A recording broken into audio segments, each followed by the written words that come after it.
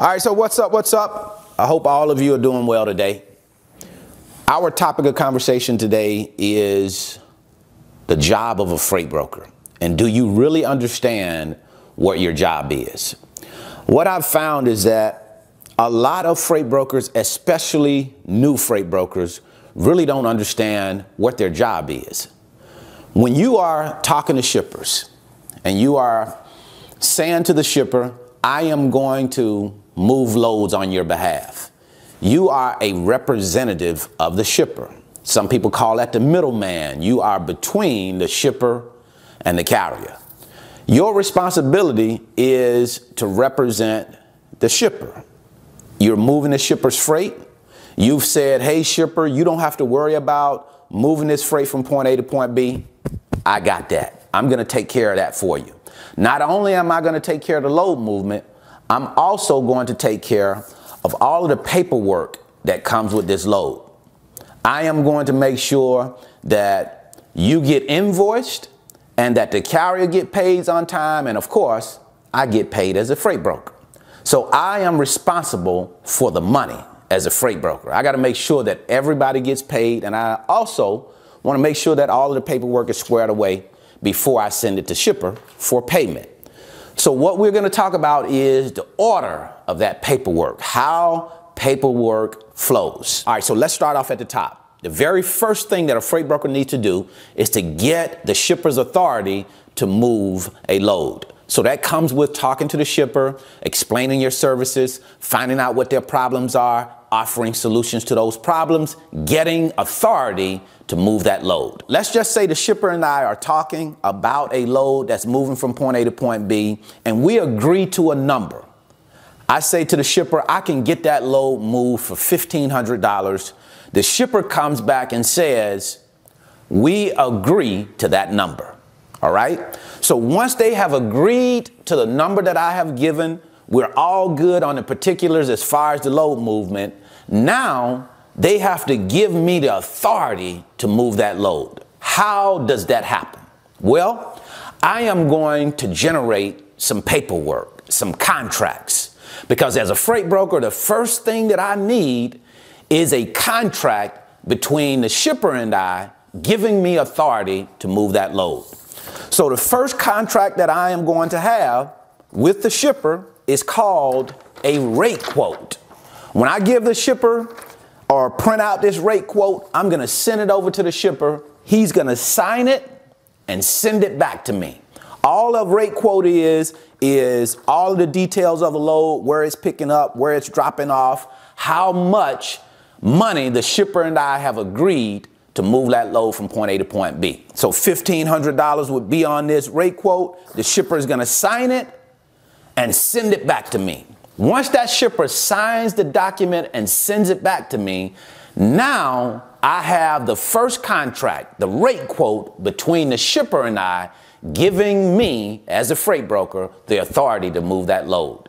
Now, some shippers are going to put another piece of legislation in there, if you will, and that is a tender.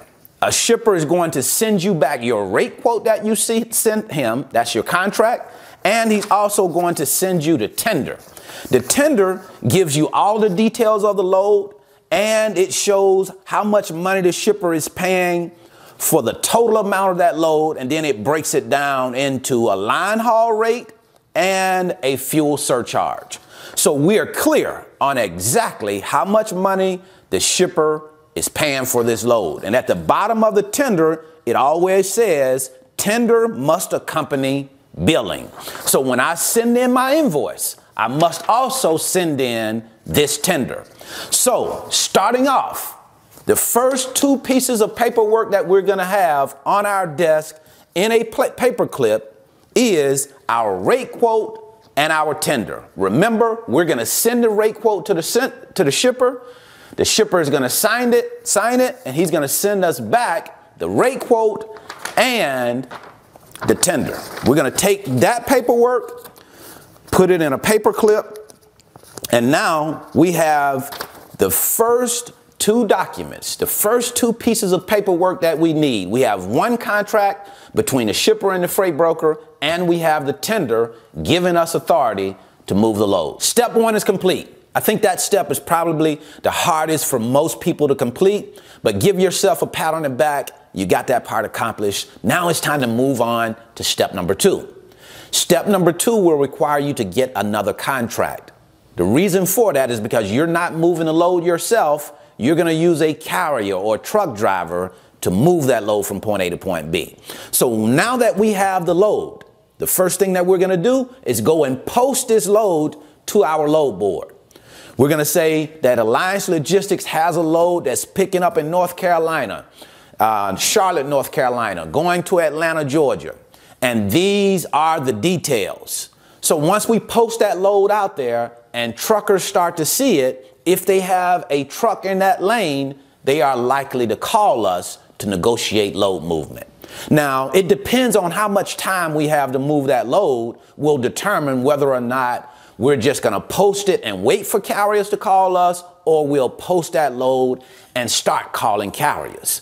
Because if we don't have a whole lot of time, we can't just wait around and hope that carriers call us. Regardless of who calls who, the next step is to start negotiating the details of the load. If the carrier is interested in that load and he calls and we start talking about moving that load from point A to point B, we're going to talk about pickup time, delivery times, the appointment times, and of course, the money, how much money is in the load.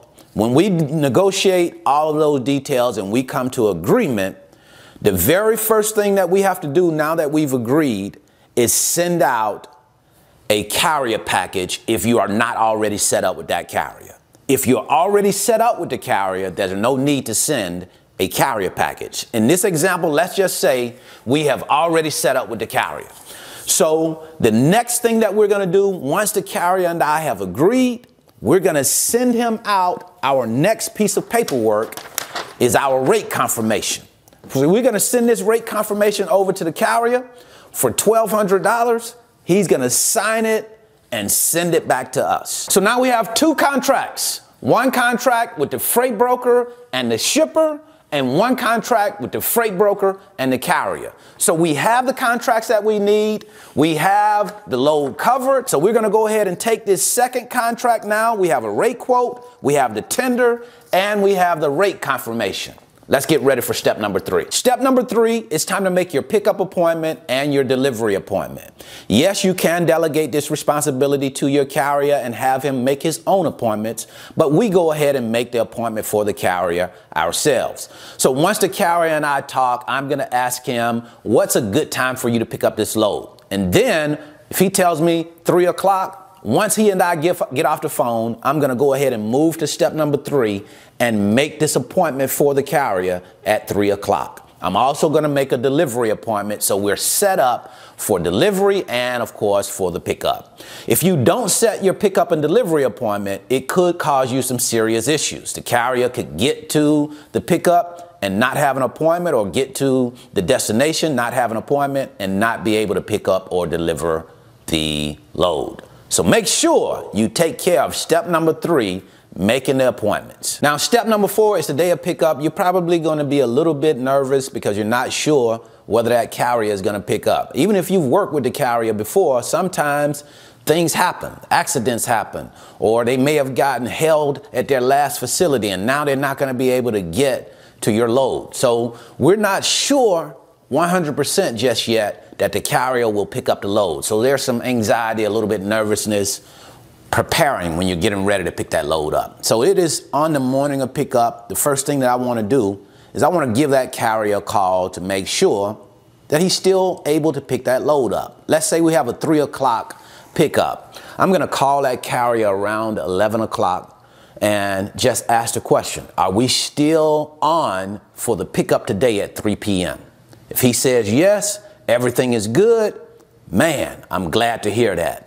Still, we're four hours out though. Well, you know, it's 11 o'clock. We're not picking up till three o'clock. So I want to give him one more call at probably around one o'clock, 1.30 to make sure that everything is still good. The reason why I want to be so sure is because if he cannot pick that load up, my, my job starts again.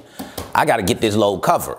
So I'm trying to make sure that if there are any obstacles in the way, that he make me aware of what those obstacles are so that we can get a contingency plan set up. Step number five, the carrier calls you and tells you he's arrived at the pickup location, he's given his appointment confirmation number, and the consignee has given him a door. That's music to our ears because that means that he is getting loaded or will be getting loaded shortly. Now, once he's gotten loaded, the shipper will give him some very, very important paperwork. The BOL. What is the BOL? The bill of lading. And on this BOL, it has all of the contents of the load. It tells you exactly what's on the truck and what you want your truck driver to do. What any smart truck driver will do he's going to check this customer order number and make sure it matches up to the order number that's on his paperwork. You always have to do that as the carrier to make sure that you don't have the wrong load. Step number six, the carrier calls to say he's been loaded.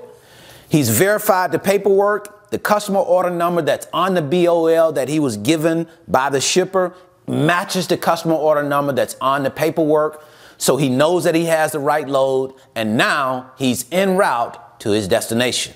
So what I'll do now is call the delivery location and let them know that we have an appointment time at 6 a.m. and we expect to arrive on time. Step number seven, the carrier has arrived his pickup location. He's given his appointment confirmation number and now he's been given a door. But he's also been told that he has to pay a lumper fee. So here's what we're gonna do. Either he can pay the lumper fee or I can pay the lumper fee as a freight broker. If he's set up to pay electronic payments because you cannot pay lumper fees in cash, you have to pay them with an EFS check or a Comdata check. So, or any type of electronic check. So in this situation, he's able to pay it. He's going to go ahead and pay the lumper fee and I'll reimburse him on the lumper. Step number eight, the carrier calls back to say he has clean bills. And this really is a time to breathe a sigh of relief because the load has been delivered and when he says he has clean bills, that just means that there were no items short and no items rejected by the shipper. So now in order to get the money moving, the carrier has to send me all of the remaining paperwork. Remember, I have already the rate quote between me and the shipper, and I have the rate confirmation between the carrier and I, and I have the tender. Now I need the remaining paperwork that the carrier has collected on his end. He's collected the BOL, he also has a receipt showing that he paid for the lumper fee. That way I can reimburse him, of course, through the shipper. I'm not reimbursing him for my money. The shipper is paying for this. And he's also going to send me an invoice. So the carrier is going to send me the BOL, his personal invoice, and his receipt showing that he paid for uh, the lumper fee. Now, step number 10, it's time to get the carrier paid. But before I pay the carrier, I'm gonna go over the paperwork to make sure I have everything I need. So first of all, I'm going to include my own invoice before I send this to the shipper so I can make sure that we get paid for the entire amount. So we got a $1,500 invoice plus the amount that the carrier paid for the lumper fee included in this invoice. That's the invoice from me going to the shipper. We have the rate quote between the shipper and I. We have the tender that we're going to give to the shipper as part of that invoice. The rate confirmation, that's between the carrier and I. I don't need to give that to the shipper. The BOL, I'm going to provide that to the shipper as well as part of the invoice because that is the POD. That's the proof that the items were delivered. We have that receipt here for the lumper fee. We have to have that in order to get reimbursed by the shipper. And last but not least, we have a invoice from the carrier. Again, I'm not going to include that with the carrier's paperwork. That's just for my uh, information. So that's what I wanted to share with you today. These are the steps that you need to take in order to get loads moved, to make sure that you have all of the paperwork and have it organized. Do it in these steps. Have a great day. Have a great rest of your week. Until the next time, I wish you the very best in your life and business. If you're interested in learning about the freight broker business, check the description box. I'll leave a link there to my five video series titled How the Load Movement Process Works. Give you a chance to come into the office with me and you can watch me as I move loads, talk to shippers and carriers so you have a better understanding of how this business works. Also, if you're ready to get your load board, we are partnered with Truckstop. I think that's the best load board in the business. I've been using it now for the last eight years. Highly recommended to any truck driver, any freight broker that's ready to hit the ground running. See you at the top because the bottom is way too crowded.